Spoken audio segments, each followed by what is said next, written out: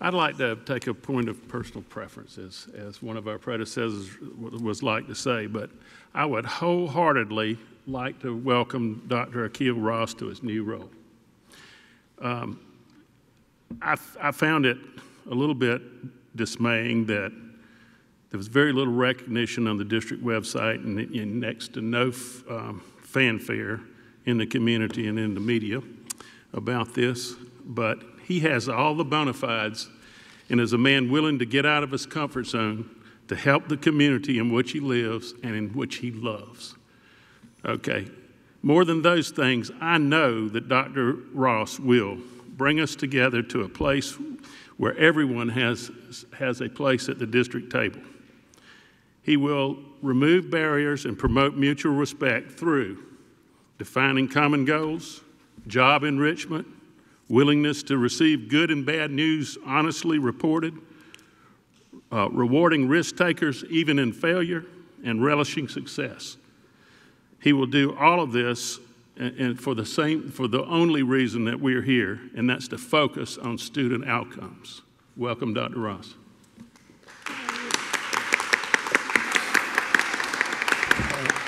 Thank you so much. It is an honor to be here. It's um, our privilege to stand in this position. Uh, I know the uh, awesome power uh, that this represents, and I hope to, to make our community proud. Uh, this is not about me, it's about we. And so that's what we're going to move forward with tonight. Uh, in that uh, span of, of, of we, I want to talk about who we are. We are District 5. And um, I want to use the work that we're currently doing with the district strategic plan. Uh, as state regulation states, we are to do this every five years. And uh, this gives us a great opportunity to define who we are as a district.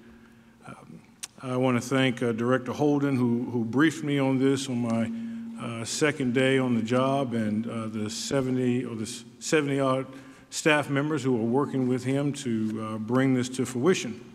But according to State Regulation 43261, we are to have these strategic plans and that they are to include school climate, they are to include student achievement, and teacher administrator quality. Uh, when I teach my students, and I teach students who are becoming principals uh, and school leaders, I let them know that school climate first begins with culture. What if I bring anything to the table is that I have traveled across the, the country and halfway around the world uh, talking about culture in School District 5. Culture is who we are, it's our beliefs, it's our values, it's the valued practices that we have, it's the things that we, we hold dear to ourselves. And I believe that the strategic plan gives us this opportunity to redefine our culture, who we are, and what we value. Uh, in showcasing this, I think it's time that we define our culture before someone defines it for themselves. And so, with that, uh, it's a time to create what I believe is shared vision and a mission. Uh, right now, uh, as um, we look at board policy, there's a disconnect between the board vision and the district vision. This is a great opportunity to align those, to find that vision together. And I believe it starts with our students, their needs.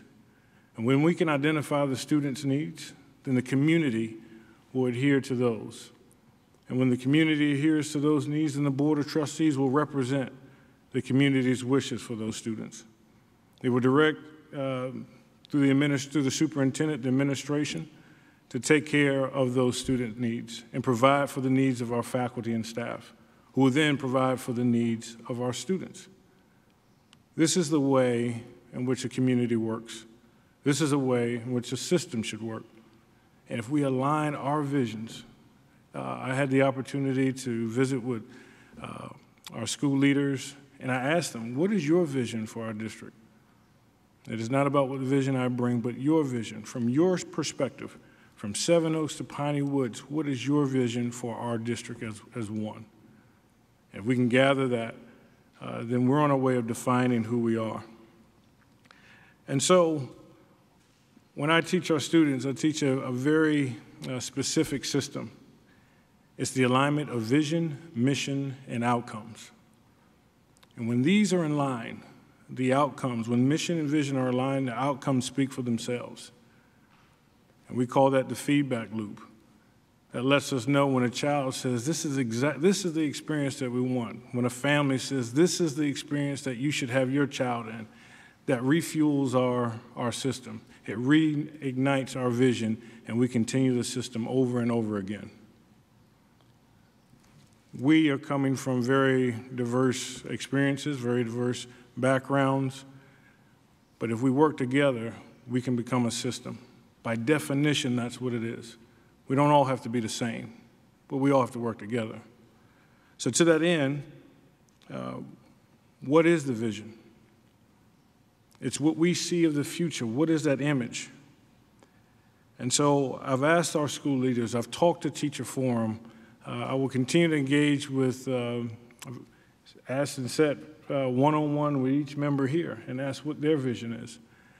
This vision gathering that we're doing, we include you as a community. How do you see our district moving forward? So, after we align the vision, after we have an idea of the road that we want to take, the next question is how? How do we get there? That's the mission. If we have a vision of being a system, we must work as one. The board member of code of ethics and the uh, policy BDD, board uh, superintendent relationship, spells this out very clearly. The board has one employee, that's the superintendent. The superintendent uh, works through the district and the schools to get that done. How does that relationship look? Now, um, I learned in the third grade, and uh, I spent two years in the third grade, so I think I got it, that every book report has the who, what, when, where, why, and how. And we use that method to teach how this relationship works. Who and how will do the job? That's up to the schools and the administration. What, when, and where? That's by law and by policy the role of the school board. But the why, that's for us. That's for us to understand in every child, for every family. The why is what I need your help with because it exists in your homes, at your kitchen tables in the car rider lines when you pick your child up, in the cafeteria when you're wondering who they're sitting with. The why is what we need your help with. And that's constantly changing our why. And our children need us to answer that question in order for us to work as a system. And so the last part, once we have our vision, once we have our mission set, then we move to outcomes. Are we measuring the right things? As a high school principal, former high school principal, I was very excited about graduation rates. But then I realized that students coming back with diplomas who couldn't leverage that for the careers that they wanted. They were looking for um, low debt or no debt post secondary options.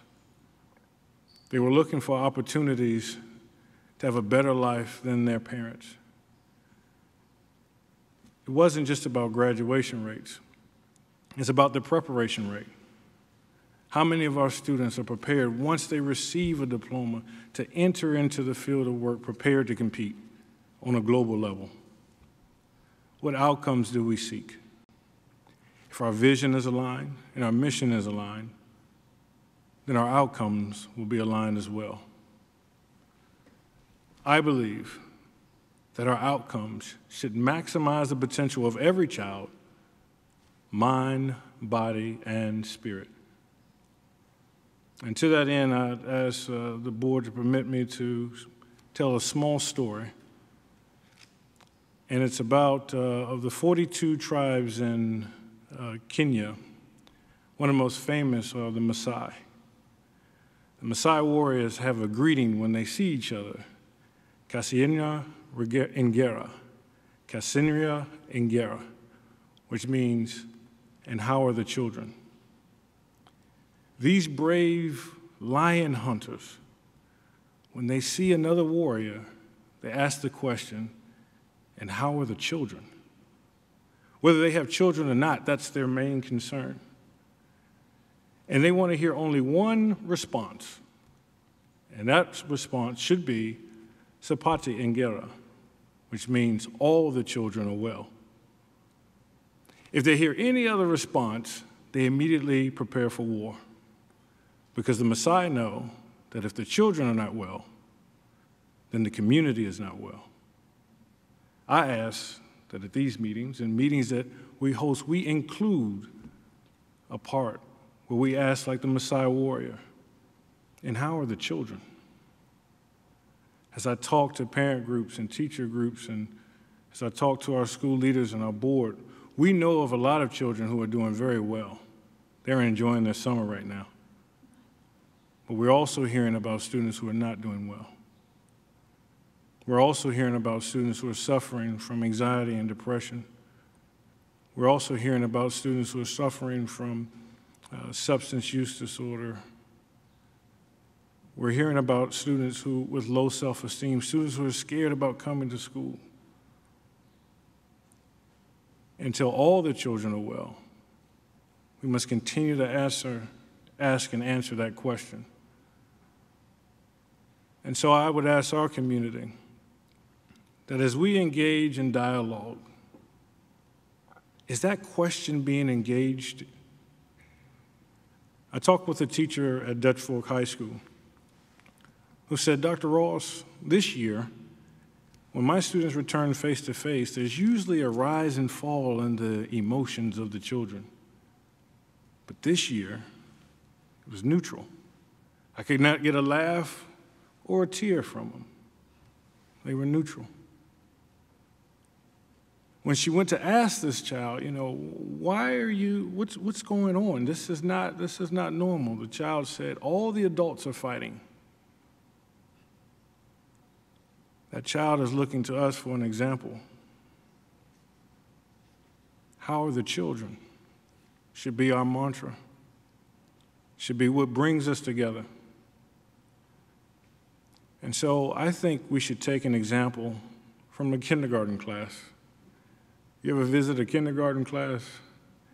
They see more of the similarities than they see the differences. My favorite example is of a little black boy and a little white boy on twin day got the same haircut and challenged their teacher to tell them apart. the example of the kindergarten class is maybe the example that we should take. You can't resolve things through social media. I've never seen an argument on social media resolved. But I have seen when people sit down one on one and talk out their differences, that those are resolved. And how are the children? They're watching us.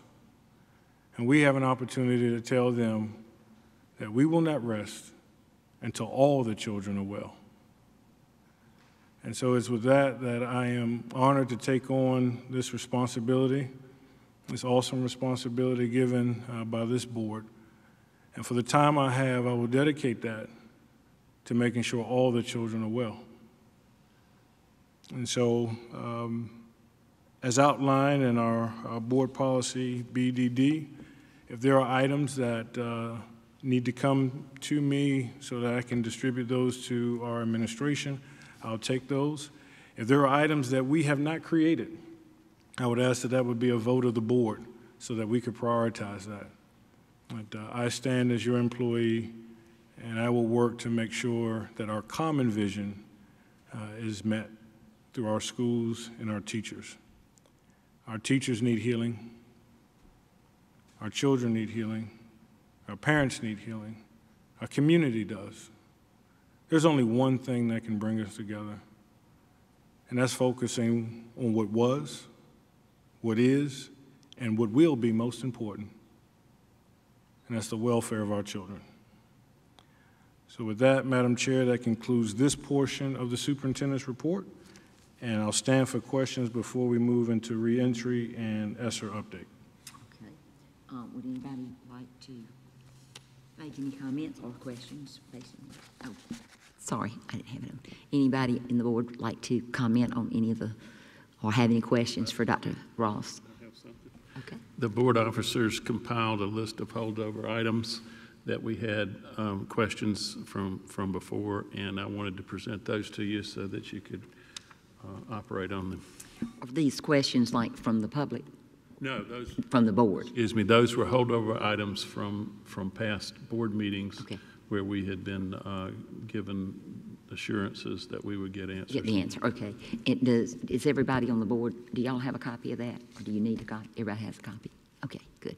Um, Dr. Ross, I uh, am excited about your speech. I, I, I think the message I got loudest and clear is how the children, and that everything should be about the children. And I can tell you, as a teacher myself in another district, you know, the COVID year's been hard anyway.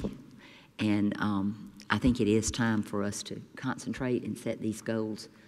And that strategic plan that's coming up and that we've talked about, I'm, I'm really excited that your leadership will be there, and I'm expecting the board to be just as, just as big a leaders as Dr. Ross as we move forward. Um, I'm going to go to the reentry and ESSER update unless there's any other question or statement to Dr. Ross. Okay? You got it.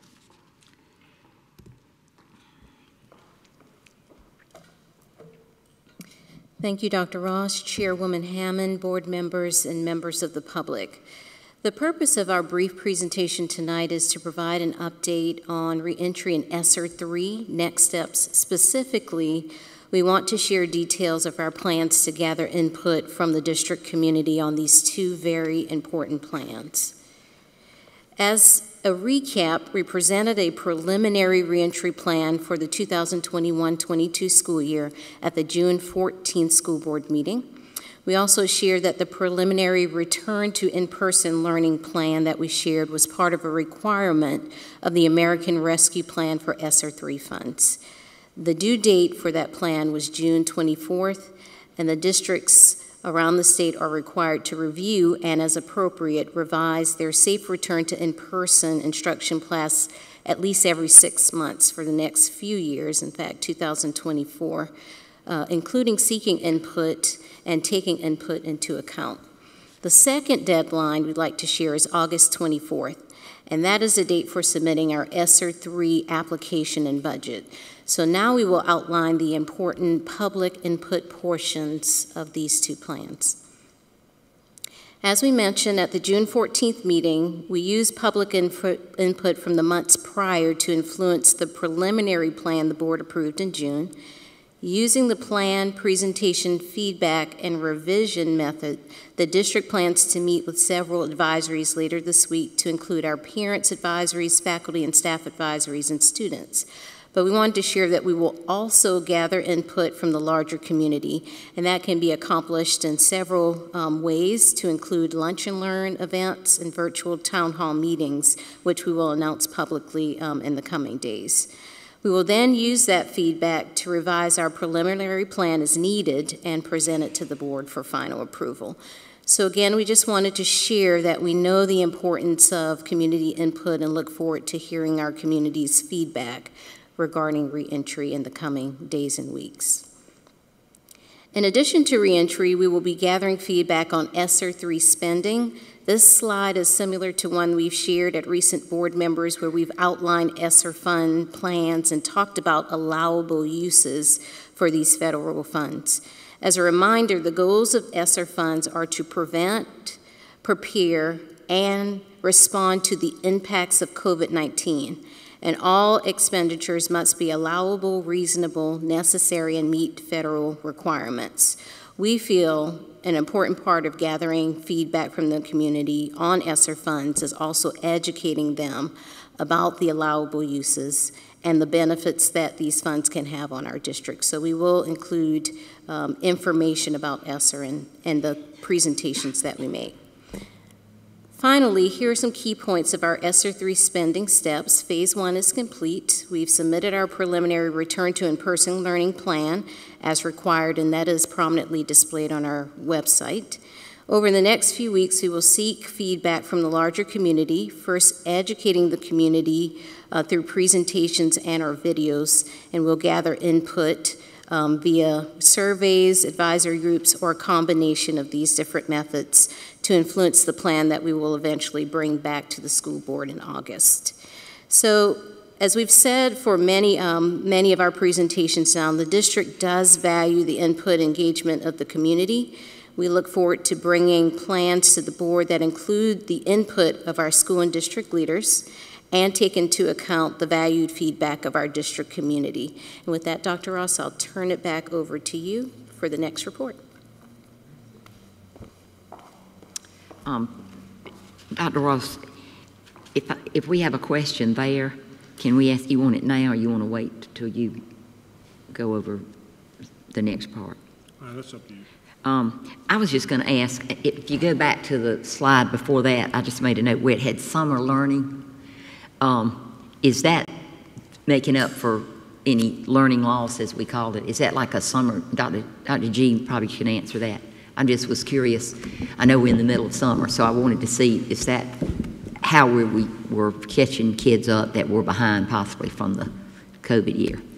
So we have multiple steps that were taken throughout this summer and then future plans as well for future summers using ESSER funds. Um, we have academic enrichment week, which is coming up next week for students identified in our tier three group. We also have for our tier two students the Edmentum program that they can utilize throughout the summer. And we also have a resource site for all of our students um, for Tier 1. So, really, our plans throughout the summer serve a purpose for academic enrichment, but then also social emotional well being and some of the mental health resources providing to students as well. So, it's multi steps beyond just academics as well. Yeah, because number nine had mental health supports. Um, and then that, that was just advertised to parents and they could sign their children up for whatever the needs they saw. It depended on which category they were in. So, based upon feedback and data that we received from the State Department of Education, um, they were identified to be in different tiers. So, a tier one, a tier two, or a tier three. And based upon which tier they were in, families received information for their child based upon that, that tier. And was that tier chosen, was that decided by teachers? No, that was decided by data. So, utilizing um, achievement scores and you. other data and other measures based upon um, standardized tests that students take. Good. I was just seeing how we identified them to be sure we reached every child that needed, needed the help. Thank you. You have a question, Ms. Carter? Th- That's, this is just a follow-up um, question about the ESSER funds for summer learning. I guess I just need clarification, because I, we, ha- have we received the ESSER three funds yet? I mean, because are we spending, so the, the current summer programs that we're doing right now, are those for ESSER three, or is this gonna, are we gonna have money for next summer? The, the current summer programs are using ESSER two funds. Um, ESSER three will not be available to spend until we submit our budget by August the 24th. So these would benefit future summers. Future summers, okay. Any other question? Anybody? Ms. Huddle? I was curious, um, how does our enrollment for this summer, um, for these programs compare to last year? It varies depending on school, quite honestly, and um, we also need to wait and see for the actual day for the academic enrichment week. We're going to monitor that data to see what attendance looks like. Um, depending on the school, you may get some cases where you have um, minimal students that are enrolled, and other schools where more students are taking advantage of the opportunity. So it really, it really varies, quite honestly, from what we've seen. So I was guess, I was just wondering, like, do we, you would think that there would be more children needed this year, right? So just as, are we seeing that, or, I know you can't, like, say specifically, but I was just kind of curious, is it about the same, or seems more or less? I think it depends upon um, if the question is need versus the ability to participate, because some families have vacation plans or other plans that get in the way. As far as a need is concerned, the need is greater than it has been in the past. I wouldn't say it is double um, in size, but it's certainly more than it has been. More students have qualified for our summer reading camp, for example, than they have in the past. And that's probably the greatest um, comparison that we have is our summer reading camp, which has taken place for several years now. and that is for our third grade students based upon Read to Succeed. More students qualified this year than in the past, um, but it's not significantly more. And you actually touched on my last question, which was the barriers. And are, are you finding barriers that maybe with ESSER 3 for next summer, there's a way to help overcome some of those barriers for our parents? Potentially, one of the barriers that we can foresee certainly is the length of the summer. It's a very short summer this year, so a lot of families and students included, they're quite honestly ready for a break. So we knew that our enrollment this year for our summer programs may be lower than it will be in future summers, simply because those summers will be back to a traditional length of time. I think that's been one of the greatest barriers. We have transportation available for our programs, so that barrier is taken away. Um, so I think really what it comes down to is this summer and and, and the strains that this school year has had on families, not just the school year itself, but um, their families and the impact of COVID and everything else that they have dealt with, a lot of families need a break as well. So taking that time to really rest, relax, have time together, do other things, and then come back. So I do think our enrollment will increase in future summers. Thank you, Ms. Tuttle. Eh, Ms. Gardner? Well, in, in light of there being some burnout, do we have plans for the first two or three weeks of school to address all of those things? You you know, to make sure that we're not just jumping in and trying to teach the next level? Are the teachers going to be given the ability to assess where all their students are? So yes, the answer to that question, um, we have assessments that we do at the beginning of the school year, so teachers can kind of assess to see over the summer if any progress was lost or where students may be at this time. And then certainly we, we try to use multiple data points, not just one data point, because oftentimes a student may have a bad day or may not be focused for that particular day. So you try to utilize as many data points as possible. But yes, to start the school year off, um, our board supported the use of ESSER 2 funds for two days for teachers to plan over the summer. So that was the support of everyone here, which we appreciate, because our teachers can utilize data on their students for next year this summer as they plan and prepare.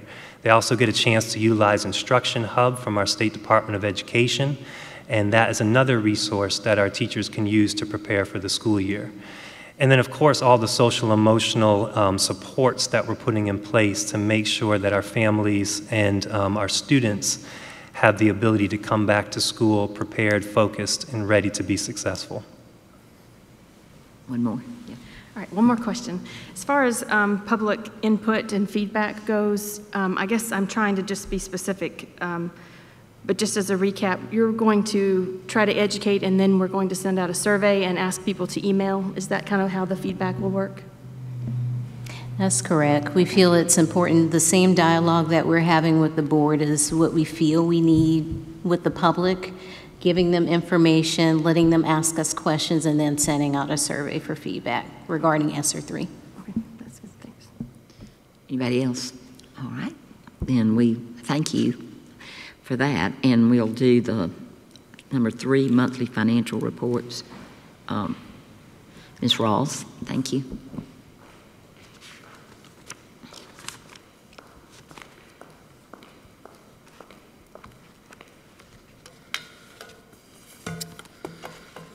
Chairwoman Hammond, members of the board, Dr. Ross, um, you have before you the monthly revenue summary. That one actually is the end of April, but we are at the end of May, so I think you should have the end of um, April information, or end of May information in your board packet. And if you are looking at that information, you can see that as of May 31st, we are almost 94% of our revenue to date having been received. Since this time, um, we have, in fact, just today, we got in the Lexington County tax receipts for the month of June, and we're still due some information from Richland County. And we also um, have received all of our Tier 3 funds, so we are in pretty decent shape, but would be over 100% of our revenue collected for the school year. Are there any questions on the revenue statement?